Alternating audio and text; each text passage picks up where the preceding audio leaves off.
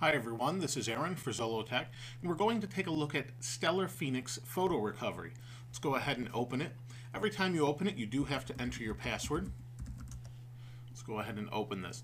And as you can see, you're presented with a nice dialog box here that allows you to simply recover your data. So we do have a few options here. We have data recovery, resume recovery, and create an image.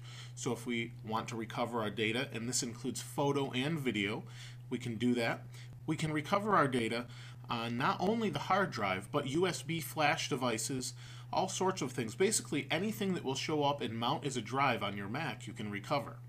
We also have the option to resume a recovery. If we started a recovery, we can leave, we can leave here and go do whatever we need to do, come back and resume that recovery so that we don't have to spend all day if we are looking for something and lose all of that search time that it was looking. We also have an option to create an image, and the image is basically a method for taking sector by sector images of a selected region, and as this says, it's useful in case your media has developed bad sectors, and you can use it later to recover data. So what we have here is a micro SD card that I'm going to show you.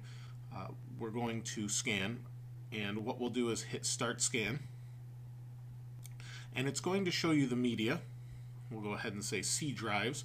You can see we have all these different drives here and we're going to use this drive here which is really it's a it's a micro SD card and we'll go ahead and hit start scan. Now it's going to scan our micro SD and come back with what it finds. The card that we're scanning actually contains all of the different video media that I use in my camera when I record videos. And what you'll see is it will go and find past media. Now it does take some time and I'll let this run and we'll come back.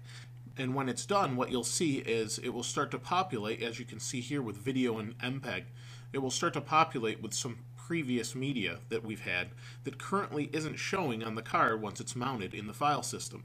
So we'll go ahead and let this run and we'll come back in a moment to take a look at that. I've now let the image recovery software run for some time and it's come back with a bunch of folders on the left hand side. As you can see under video we have MPEG and WMV. Under photos PNG, GIF, TIFF, JPEG, PNG. Under music we even have MP3s that it was able to recover. Even though it's photo recovery, it's still doing the same basic thing and can find whatever you need it to. Now as you can see here, there is an image that shows Zollotech. This is what Zollotech looked like when I first started the site a long time ago, three years ago.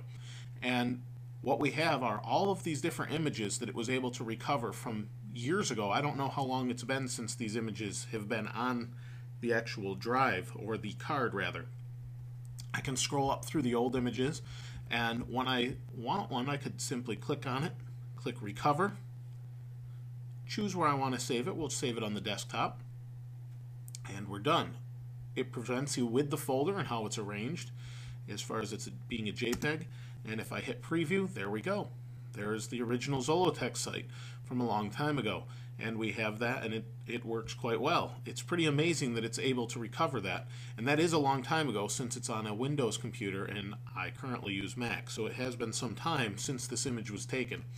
And let's go ahead and close that. Now like I said, it does recover MPEGs and WMV files.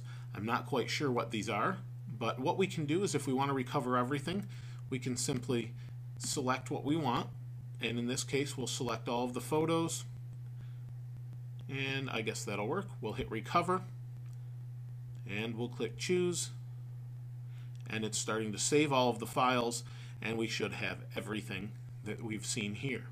Now this will work on just about anything you can imagine drive-wise. Let's go in here and it's rearranged them into all of the different folders of a file type. And here we have JPEGs and as you can see it's recovered quite a bit. There's, there's picture upon picture uh, that I haven't seen in a long time. Receipts and things along those lines. I don't even know how they got on the, the actual card, but apparently they were there at some, at some point and this was able to recover those. There you have the photo recovery software from Stellar Phoenix. Now this program is available for Windows as well if you have a, a PC.